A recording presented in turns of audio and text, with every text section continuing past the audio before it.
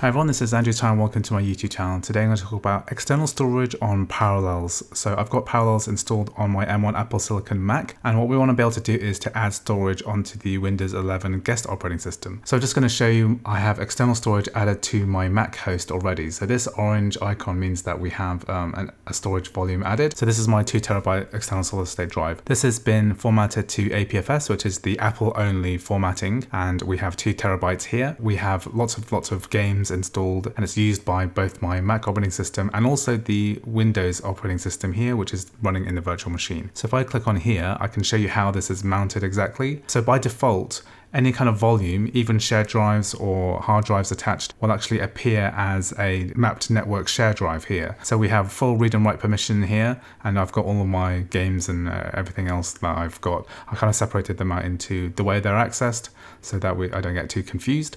But basically, it will map the drive onto a specific letter. This letter can be a bit random based on what drives you have, based on how many drives you have mapped on your Mac operating system. It'll tend to stay persistent as long as you don't rename these volumes. Largely speaking, this is going to be fine for most games. So for example, if you wanted to add games on Steam, we could just go to Steam settings and then go to the download section here and then click on Steam library folders. And then we could just add the X network drive onto there by clicking add folder and then navigating to that X drive here. And then we could just add as an additional place to download Steam games. However, some games don't like this map network drive. They won't let you uh, install onto a map network drive. For example, some Origin games, the Xbox Game Pass games, they want to be installed on the C drive or on a different local network drive that's in this list and not on this list. So the way to do that is to shut down the virtual machine and then uh, make some changes to the control center settings. So to shut down here and then we'll click on this cog icon. And once the virtual machine shut down, we can make some changes here.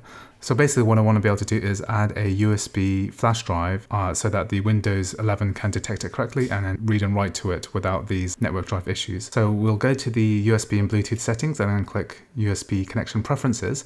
And this will tell me what to do when a new external device is connected. So basically what you want is to have, make sure that this is turned on, ask me what to do. This list here is a list of devices which I've already assigned to connect to my Mac. So for example, my More One, which is this volume here, is being attached to my Mac. That's working as intended because I'm happy using that as a network drive. Now, once we've made sure that the setting's on, we can just turn on the virtual machine again.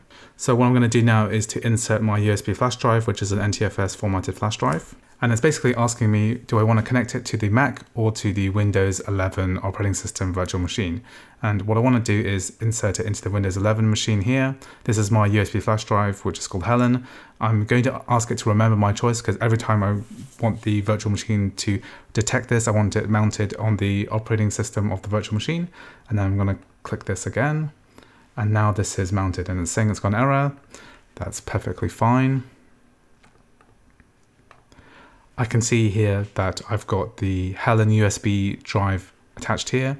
And this, if I, if I right click and then click properties, I have a standard NTFS flash drive. It's going to appear as a local drive here and we're going to have read and write access to it.